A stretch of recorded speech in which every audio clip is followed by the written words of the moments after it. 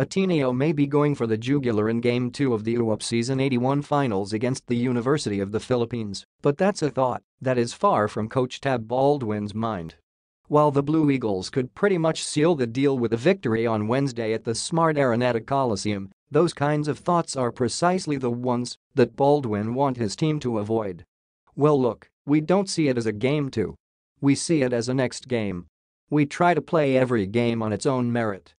We recognize that UP's backs are against the wall, it's a do or die game that changes their mentality for sure but for us, we're looking at game one for the mistakes that we made and the things that we need to execute better offensively and defensively, Baldwin said in a phone interview with Spin. PH. We try to keep a lot of issues that people talk about out of the frame.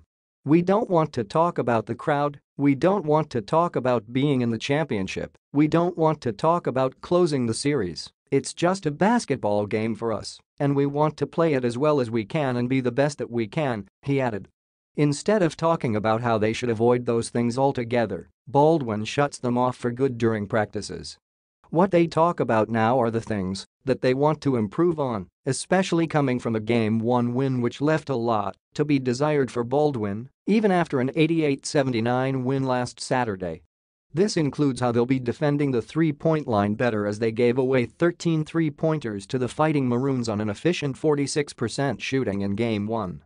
When your mind is full of the things that you have to do and that are part of what determines how you play, then by that process, we minimize the things that we don't want to talk about or think about. It's a very clear process, if you sit around and talk about other issues, that's what you're gonna focus on. We don't. We talk about how we want to play and what we're going to do in terms of our game plan, Baldwin explained. We have a game plan, and I expect them to execute the game plan in the first game we didn't do that very well. We don't have to do a lot of adjustments, I don't think, in terms of our game plan. We just need to do a better job applying the principles that we have, he added. Oh, anything that Baldwin noticed coming off that first game is how the Fighting Maroons extended their range from way downtown, with guys like Jun Manzo, Juan Gomez de Liaño and Diego Dario taking shots farther than usual. It's something that Baldwin is taking note of entering what could be the title-clinching game for the Blue Eagles.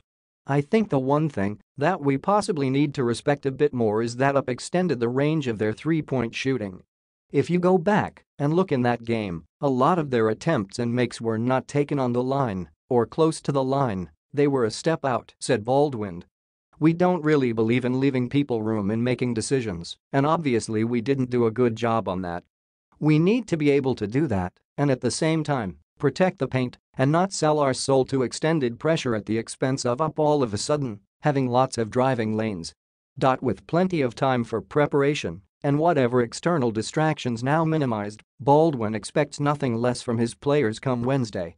We know what we're supposed to do, and that's what I expect the players